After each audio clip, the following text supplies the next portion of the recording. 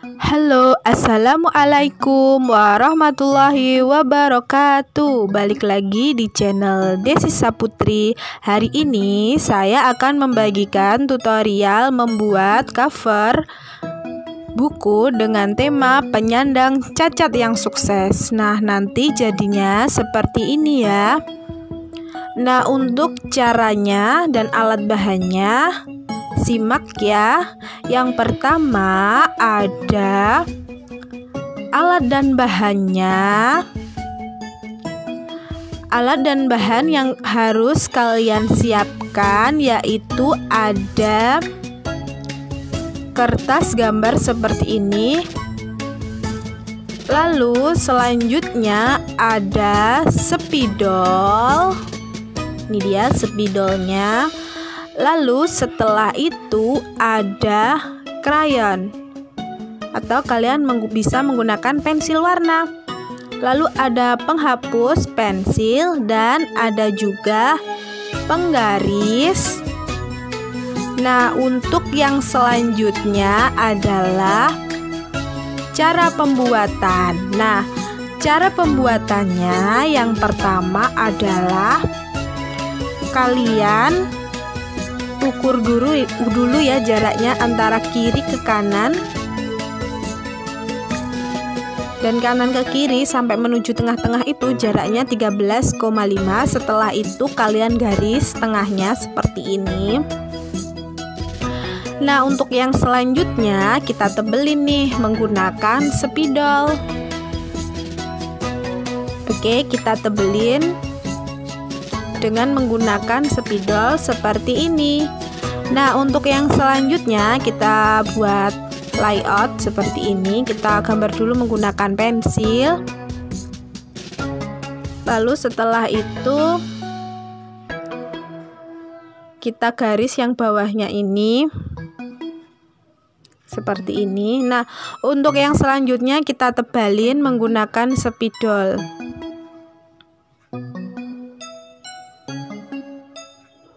Nah, seperti itu untuk yang bawahnya kita garis menggunakan penggaris.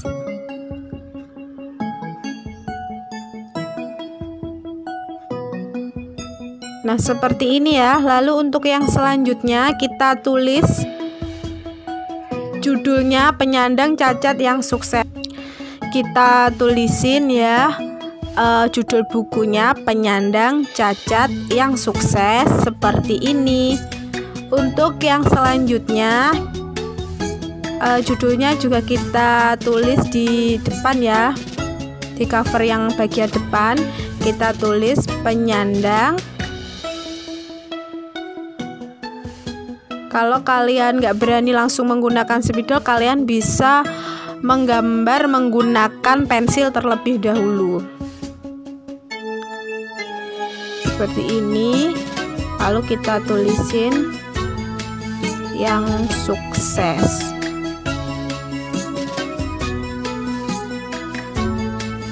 Nah, seperti ini ya jadinya. Lalu untuk yang selanjutnya kita kasih nama pengarangnya. Seperti itu, lalu kita kasih seperti itu ya. Lalu kita ini aku udah gambar. Udah gambar uh, orang yang penyandang cacat ya jadi kalian bisa ikutin caranya itu uh, aku gambar wajahnya terlebih dahulu lalu telinga lalu aku gambar rambutnya. Kalian bisa gambar pakai pensil terlebih dahulu. Lalu aku gambar ini tangannya. Ya aku gambar tangannya. Lalu selanjutnya ini ada kursi roda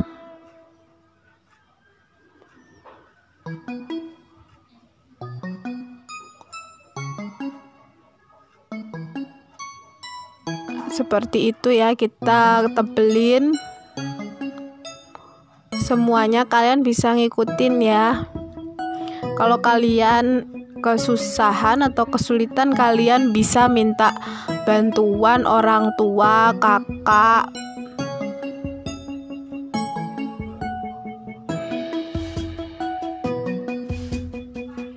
Nah, seperti itu kita gambar satu persatu.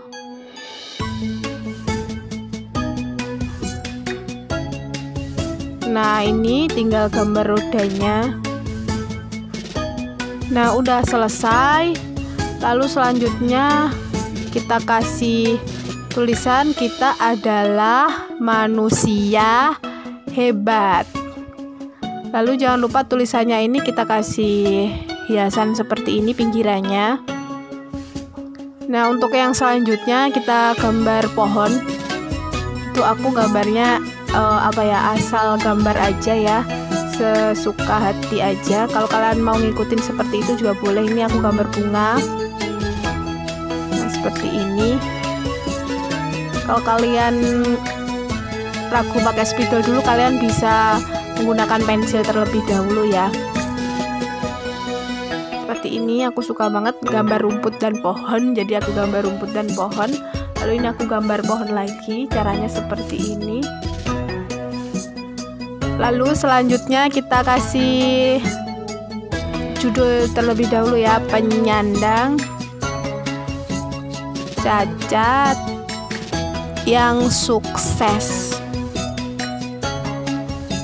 Oke seperti ini lalu kita kasih ringkasan bukunya di belakang sini kisah inspiratif dari seorang yang cacat yang memiliki semangat yang luar biasa sehingga mengantarkannya menuju kesuksesan. Nah, seperti ini ya. Ini ringkasan bukunya lalu kita kasih pinggiran seperti ini lalu kita gambar rumput lagi. Nah, seperti ini biar nggak sepi ya bukunya. Kita kasih bunga-bunga biar tambah cantik oke kita kasih bunga-bunga nah untuk yang selanjutnya kita kasih bunga lagi ya kasih burung-burung seperti ini lalu kita warna pertama kita warna kuning. Ini bagian tengahnya. Kita kasih warna kuning. Lalu setelah itu uh, bagian sini, bagian atasnya ini juga kita kasih warna kuning.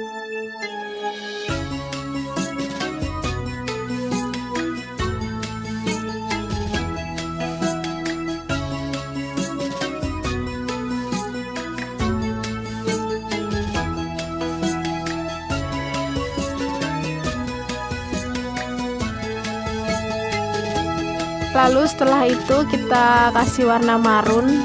Ini seperti ini cara warnanya lalu kita kasih warna orange seperti ini biar membentuk degradasi ya.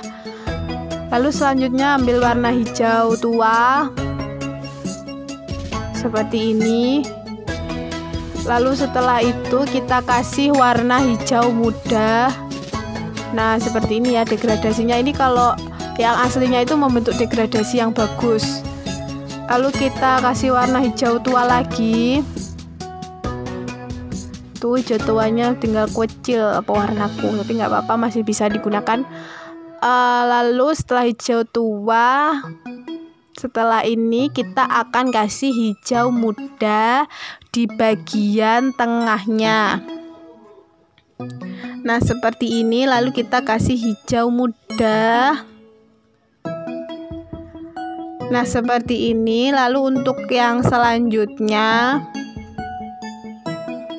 kita kasih warna coklat untuk pohonnya. Ini aku mewarnanya nggak aku tebelin ya. Jadi aku ngawang gitu. Seperti ini, nggak aku tebelin banget.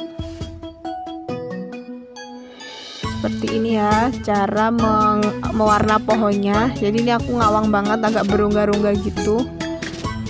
Nah untuk selanjutnya ini dia. Kita kasih warna hijau muda untuk rumputnya ini. Apa ya semak-semak seperti ini. Lalu kita kasih kuning. Kita campur dengan warna kuning. Lalu kita kasih warna hijau muda lagi Oke kita kasih hijau muda lagi. Lalu kita kasih warna kuning. Nah seperti ini. Kita kasih warna hijau muda. Nanti setelah ini kita kasih warna ya pinter warna kuning.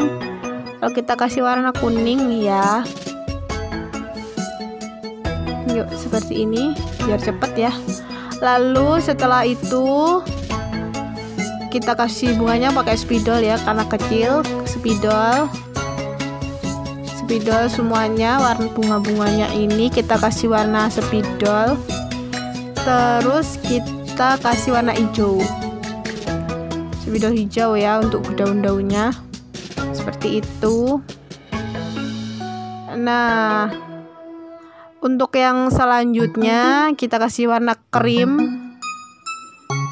Untuk ini tulisannya kita kasih warna krim nah seperti ini caranya.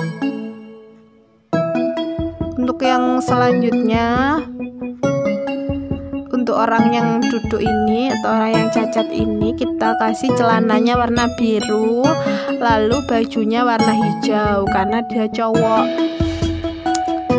Ya untuk yang selanjutnya rambutnya kita beri warna hitam. Sepatunya itu pegangannya itu juga hitam. Terus lalu lalu ini bannya lalu kakinya atau sepatunya. Lalu untuk yang bawahnya ini aku kasih warna kuning lagi. Udahnya aku tipis-tipis aja warnanya. Udah deh jadi seperti ini. Mudah banget kan? Terima kasih ya sudah nonton sampai habis semoga bermanfaat. Wassalamualaikum warahmatullahi wabarakatuh